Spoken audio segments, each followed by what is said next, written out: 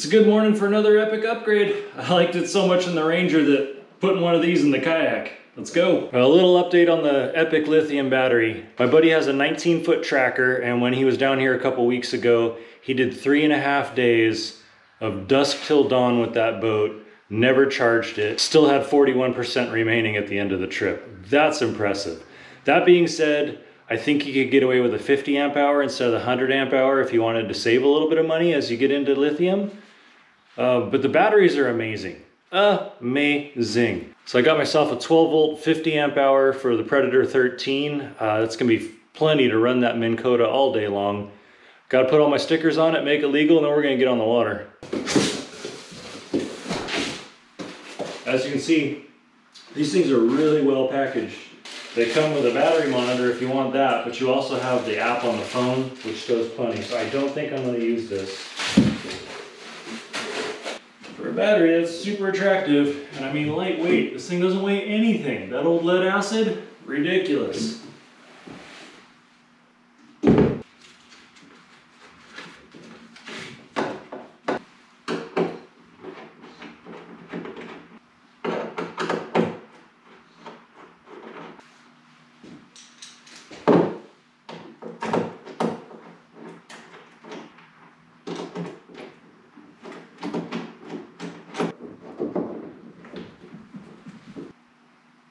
Power the battery up.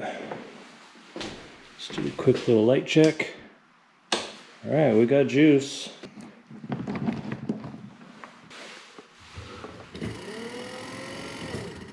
Okay, all systems function. Let's get those stickers on.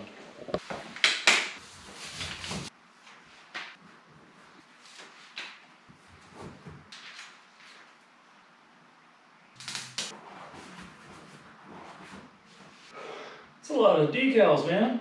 Okay, let's check on this battery before we head out and make sure we're good to go.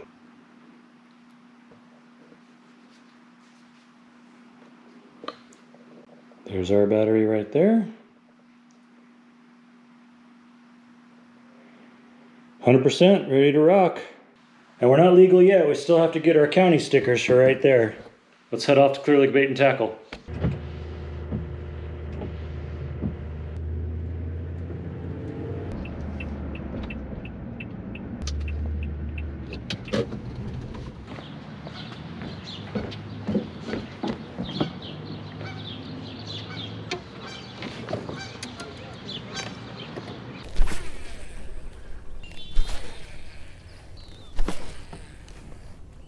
Beautiful day out here.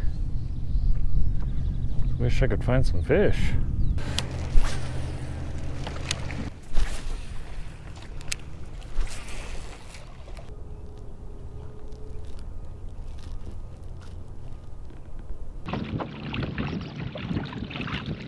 Okay, I've been fishing for about five hours, uh, just doing some sea trials. Found a couple of little issues I want to go home and address. Just some different kind of connections I want to put on the electrical stuff, uh, just so we don't get any faults. I got an overheating GoPro, and I'm hoping this one makes it through the outro. Um, let's see how everything's doing. Okay, let's go to the app. see how much battery we got left.